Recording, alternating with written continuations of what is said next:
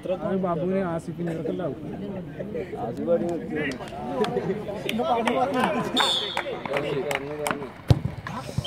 Asif